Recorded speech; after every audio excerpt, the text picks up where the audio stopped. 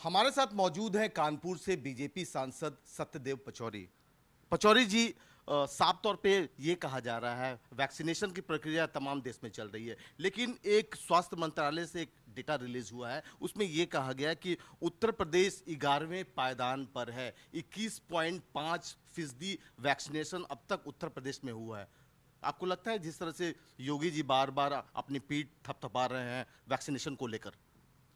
मैं समझता हूँ कि पॉपुलेशन के हिसाब से उत्तर प्रदेश सबसे बड़ा प्रांत है। 25 करोड़ की आबादी है और 25 करोड़ में उन्होंने 5 करोड़ का वैक्सीनेशन कर लिया है और रोज रिकॉर्ड स्थापित कर रहे हैं उत्तर प्रदेश के लोग। लेकिन जितनी हमें सप्लाई हो रही है उतने की तो हम लगा पाएँगे।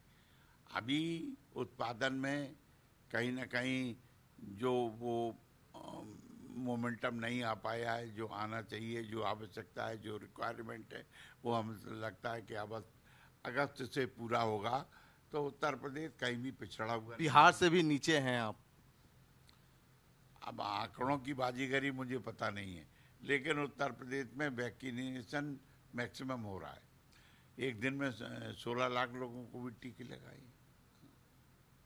तो बहुत बहुत है।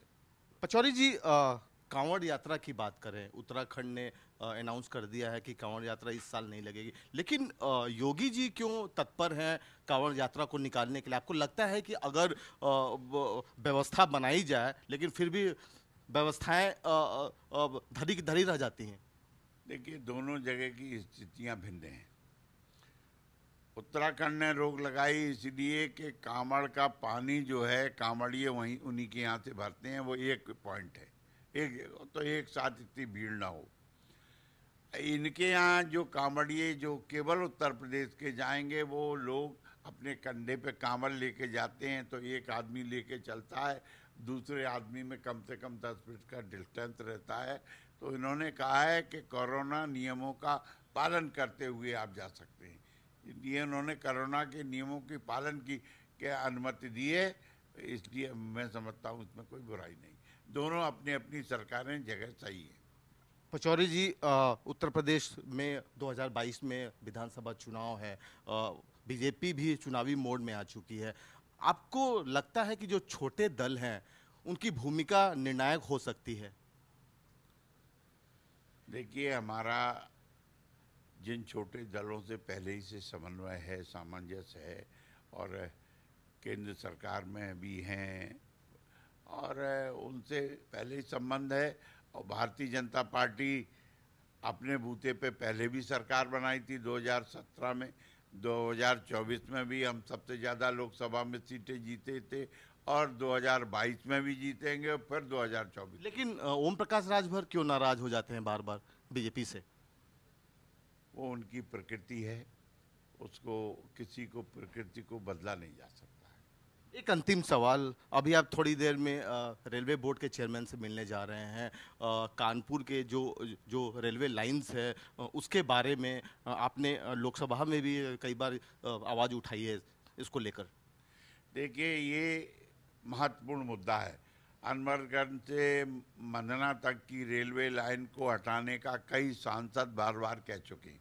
लेकिन मैंने लोकसभा चुनाव में 2027 में जनता को वायदा किया था कि मैं जीत के जाऊँगा तो ये रेलवे लाइन हटाने के लिए प्रयत्न करूँगा। और वो उसी उसी कड़ी में मैंने जो आश्वासन दिया है, मैंने शून्यकाल में मुद्दा उठाया है, मैंने पीयूष गोयल जी को भी पत्र लिखा है, रेलवे बोर्ड के चेयरमैन को भी लिखा है, और पीएस गोयल जी ने उस पर एक सर्वे टीम भी बनाई थी। सर्वे टीम की रिपोर्ट तीन बार आ चुकी है इनको, और मैं समझता हूँ कि उस पर अब बोर्ड को निर्णय करना है इसलिए मैं बोर्ड के चेयरमैन को सारी जो परिस्थितियाँ हैं वहाँ की और सर्वे रिपोर्ट के बारे में बताना चाहता हूँ कि क्यों रेलवे लाइन हटाई किस तरह की दिक्कत है वहाँ पर? ऐसा है कि रेलवे लाइन शहर के बीचों बीच से निकलती है। शहर दो भागों में बढ़ जाता है। 16 किलोमीटर का ऐसा एरिया है जहाँ 18 फाटक है।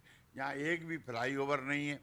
उसके कारण से जब 55 गाड़ियाँ निकलती हैं दिन में तो वो फाटक बंद होता है और रोड जाम हो जाते हैं। शहर दो पार्ट में बंटने के कारण सारे संस्थान उत्तर में हैं, दक्षिण में आबादी है।